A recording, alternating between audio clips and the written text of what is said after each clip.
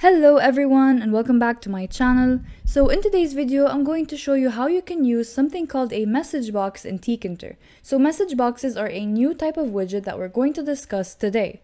Message boxes are what you probably already know as pop-ups. So sometimes when you're browsing a website, using an app, or using a Tkinter desktop app, you might actually press on something or perform a certain behavior or activity. This will actually launch a pop-up. Now this pop-up can be in many different forms. For example, it could be an error pop-up like this one that you see right here, informing you that somehow some error occurred either from your end or the application's end. Another type is a warning message similar to the one you see right here, warning you of something that you did or may do.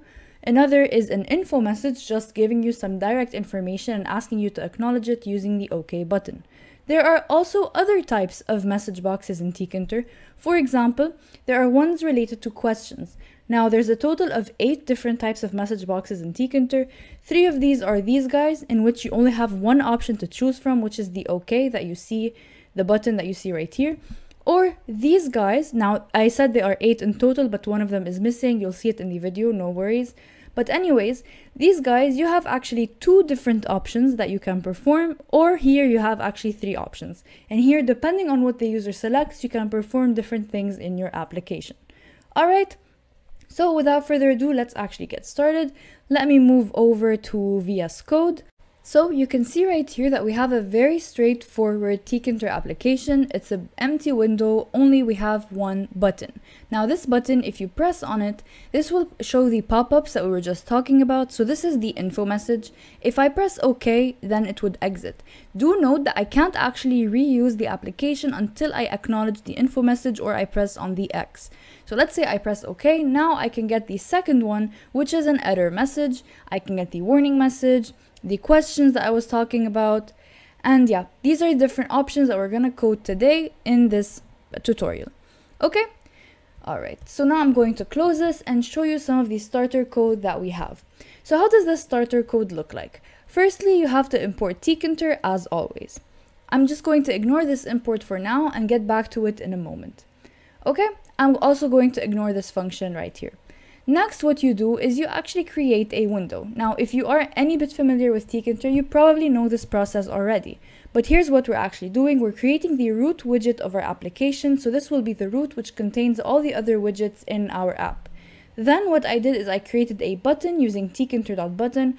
I assigned it to this root widget and then I assigned the text to be press me. So here I'm asking the user to press this button.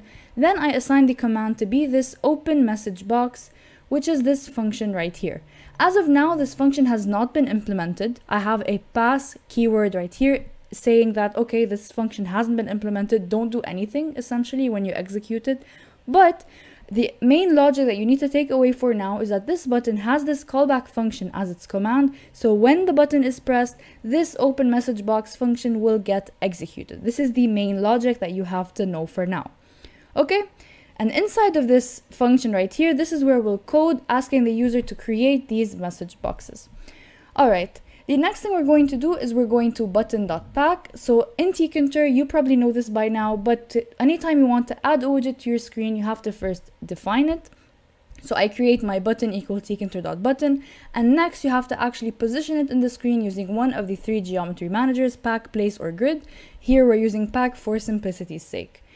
And finally, I have window.main loop. This is how Tkinter will execute my application. It will run a main loop and this main loop will continue running so long as my application is being executed. As soon as I exit the application, this main loop will stop. Okay, these are the very basics of Tkinter. So now if I actually run this code, you will see that we have this press me guy right here. If I press on it, nothing's going to happen because we have a pass keyword right here inside of this function. But this is how we were able to create this basic layout. It's also resizable, so it doesn't really have to be this, this tiny, but yeah, this is essentially what we did. So we're going to create our message boxes here inside this open message box function. Now, I said before that there's an import message right here, and I didn't really clarify why we have it. Since we imported Tkinter, why do I need to actually import this message box? What difference does it make? Well, in Tkinter for message boxes specifically, this is one type of widget that you have to explicitly import and you can't just call it using something like what we did here for tkinter.button. You have to explicitly import it. Okay? All right, perfect. So now that we've imported it, we can actually go ahead and create a message box.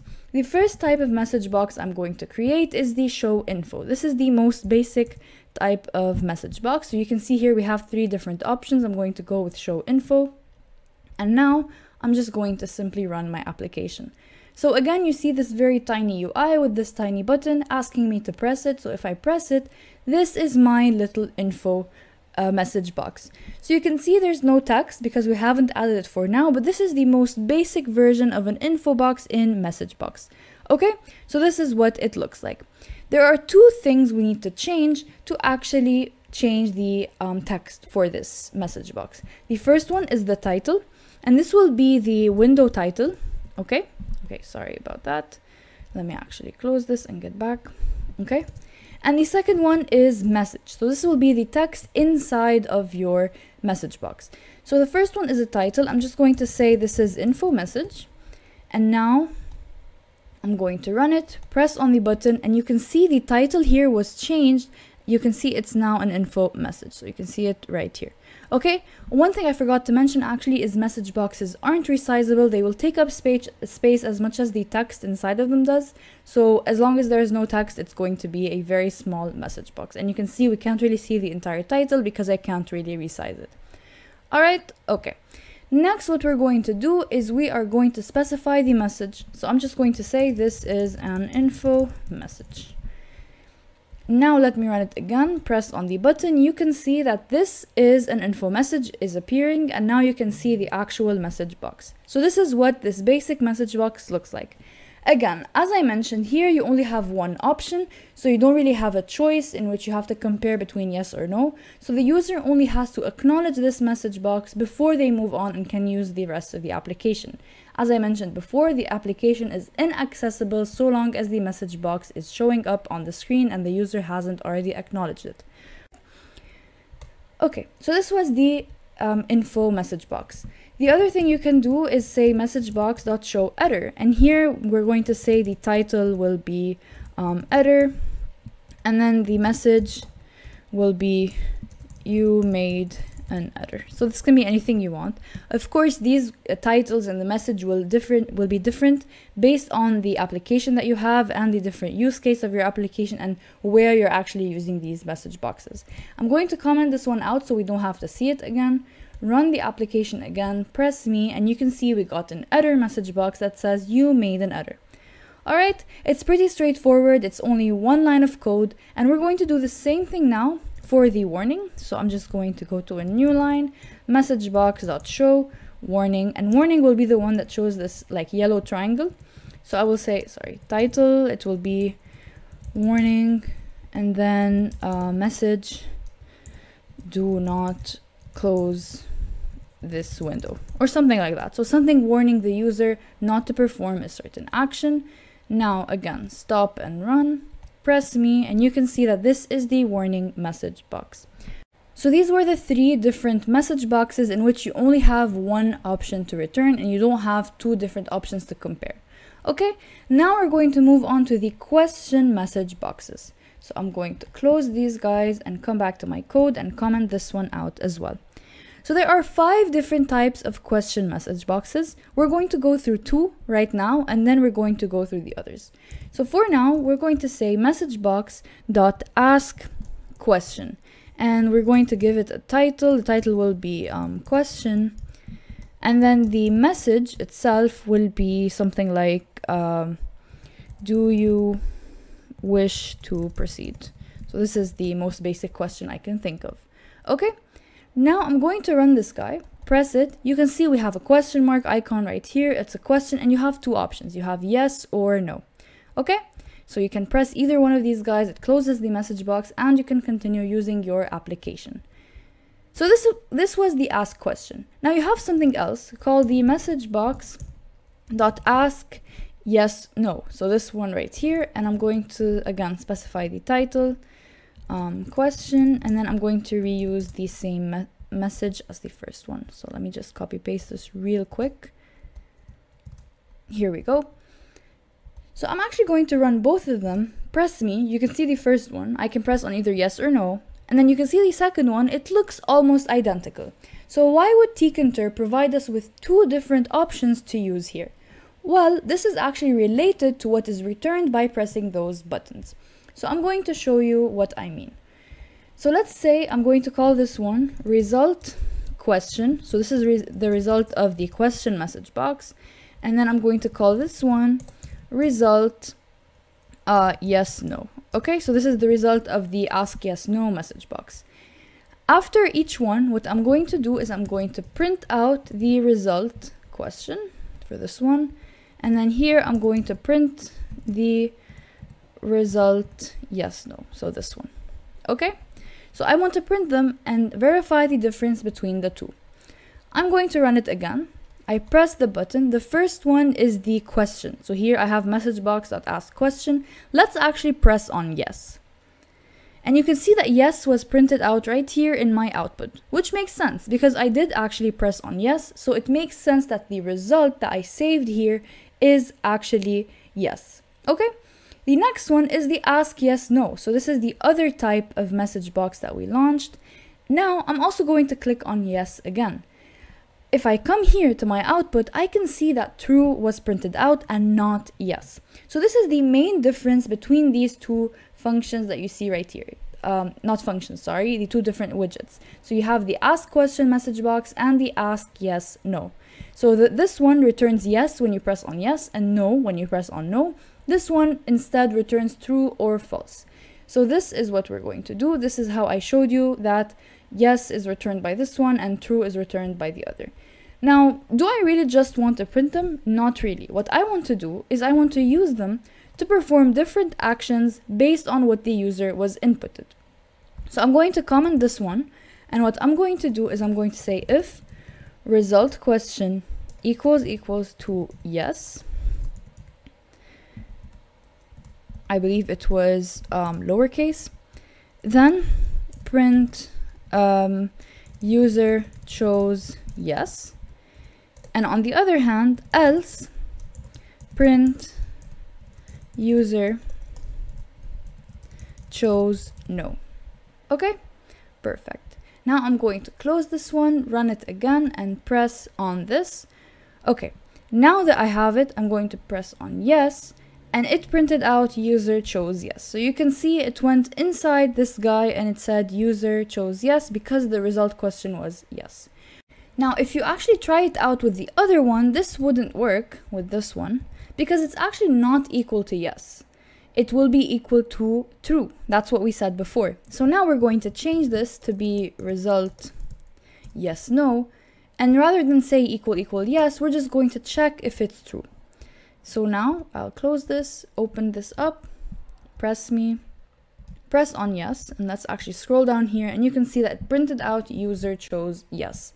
Okay, so this is the main difference between the ask question and the ask yes no. They look absolutely identical, but the result that was returned by each different message box is different. So one of them will return yes and no, the other one will return true or false. Knowing these guys is super important because this enables you to write these if statements that will handle whatever happened inside your message box. Okay, so for example, imagine I was using the ask yes no, and here rather than check for true, I did this and I checked for yes. So now I'll actually run it, press on this, open this up, and press on yes. You will see it printed out user chose no. Why is that? This is because the value is actually true and not yes. This means it will check is the result equal equal to yes?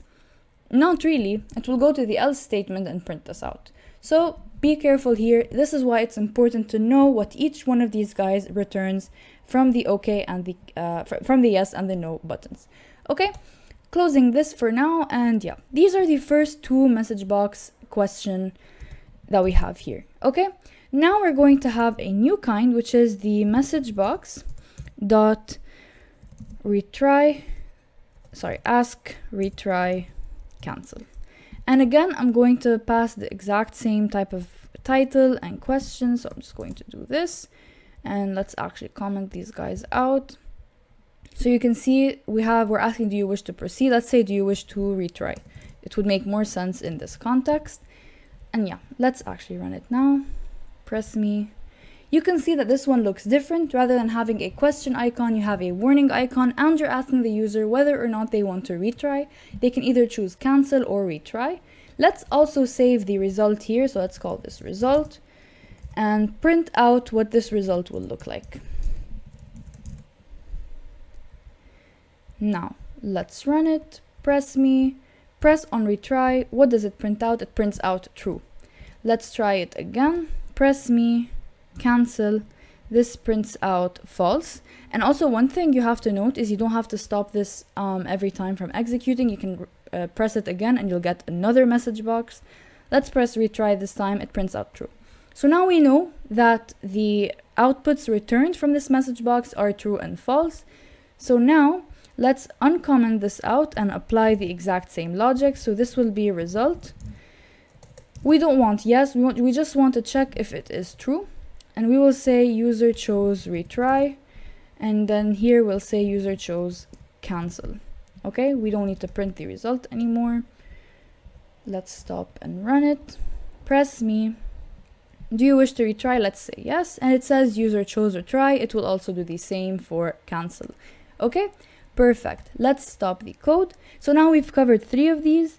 Let's have another one, which is ask, okay, cancel. Now this one actually, uh, let's change this to proceed again. This one actually works in a very similar manner as well. Let's run it, press me. Do you wish to proceed? You get a question icon. You have two options here rather than yes or no. You ha actually have okay and cancel. Let me press on okay. Here it printed out user chose retry, although okay, this is okay and not retry. But why is that? This is simply because the result here was true again. And also if we press on cancel, it says user chose cancel. This is because it was false. Now, if you just want me to prove it to you, we can just print out the result and not use these guys, but it's also a very, very similar, um, okay, let's run it. Press me, press on OK, you can see it's true press it again, press on cancel, you can see it is false. So only in the very first one, the ask question is the response either yes or no. In the ask yes no, it is true and false. In the retry and cancel, it's also true and false. And the okay and cancel is also true and false. Okay, let's comment these two out and have the final, final message box. So the final one looks like this. We will simply say message box dot ask yes, no, cancel. So now you have three options to choose from. Again, I'm going to have the same title and message. As we said, these guys will differ based on what your application is. So if you are having, like, if you're asking the user to a certain question, this is where your question would be. I'm only using this, do you wish to proceed as an example? Okay, now that I've created it, I can actually stop and rerun again, press me, and you can see we have three options now yes, no, and cancel. Okay, so you may be asking yourself, if before we had two options and we had these true and false, what do we have here? Well, here you have true, false, and none. And I'm going to prove this to you by doing the following. So print our result, and we'll say the result is equal to the message box. Result equal, okay, here. Let's actually go ahead, press me, let's press on yes you can see it outputted true. Let's press me again, press on no. You can see we got false. And one last time, let's do it.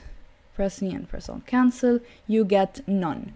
Again, based on these guys, you will code your if statements. So here I can say if result is none. So if the, if the user canceled, print user cancelled and this would be one way to do it. Of course, then you would cover the two other options. And in each case, whatever you want to do in your application, this is where you would plug that code. So for now, I'm plugging in print statements because I don't have an application. I'm just showing you a demo and teaching you how to use these widgets.